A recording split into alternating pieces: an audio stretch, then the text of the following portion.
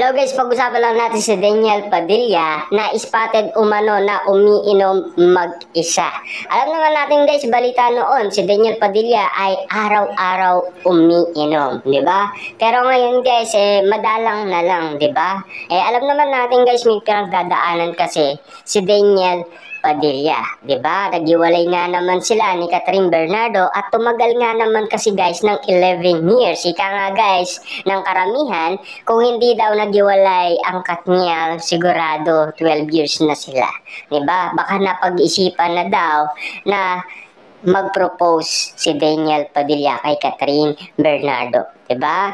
At kitang-kita nyo naman guys, siyempre kung sakaling sila pa, tumagal sana ang love team nila ng 13 years, di ba? Eh, siyempre guys, baka ngayon 2024, natuloy yung after forever, di ba? Kaya malaki ang sayang, di ba? Maraming nagsasabi niyan, di ba? At maraming nagulat, maraming nagtaka, maraming nabigo, di ba? Maraming umasa pa na magkakabalikan pa sila, pero wala na talagang pag-asa dahil ayaw na mismo ni Catherine Bernardo. Pero sa isip at puso ni Catherine Bernardo, lahat ng alaala naging masaya ay nandoon pa rin. ba diba? Kaya nahirapan siya mag-move on, katulad na lang ni Daniel Padilla na hanggang ngayon nasa puso't isipan niya pa rin. Marami pa rin nagulat at nagtaka sa message noon ni Daniel Padilla noong November 30, 2023. Nauna lang kasi si Catherine Bernardo nag-post